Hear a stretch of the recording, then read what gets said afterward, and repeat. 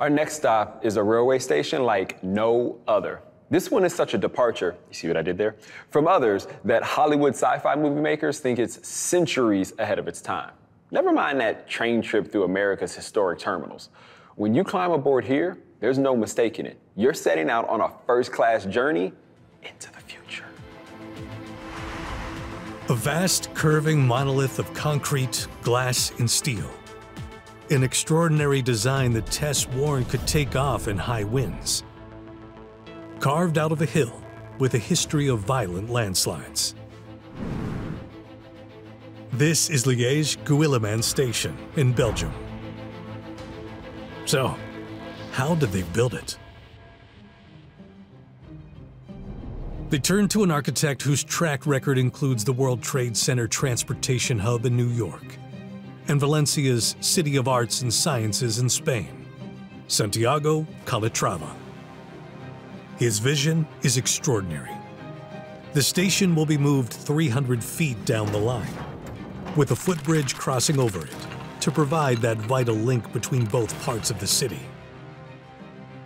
In classic Calatrava fashion, his trademark concrete curves will wrap around five new platforms, up to 1,500 feet long, which can take the high-speed trains. To top it all off, an incredible glass and steel arch will tower 100 feet high, stretching 600 feet across the tracks. It will have to be built while the trains carry on running. On normal builds, they'd crane the vast sections of steel into position. But here, that just isn't possible. So the team comes up with what they hope will be a solution to building the roof with its 39 vast steel arches. A scaffolding tower will be built in front of the old station, next to the tracks. Here the arches are welded together five at a time. As each section's added, the roof's pushed along a supersized conveyor belt across the tracks by giant hydraulic jacks. It slides on huge Teflon pads mounted on iron girders, until it reaches its final resting place. The first section of arches is built. Now it has to be slid across the tracks.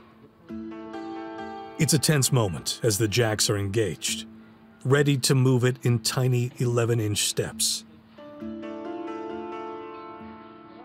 It takes a day and a half to move these first five arches. There are 34 left to go. Over the next week, the sections are added one at a time until the whole roof is complete. Then, slowly and very carefully, the entire roof is edged into its final position. To top the amazing structure off, they build a giant canopy at either end then install an incredible 1,300 tons of glass to glaze the entire roof.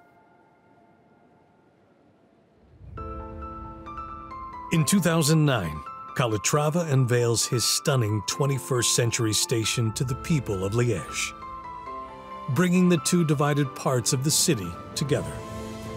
It took thousands of man hours and hundreds of workers and engineers nine long years to construct. And all of that around a living, breathing railroad that never stopped. Santiago's visionary station hopes to transport Liège deep into the 21st century.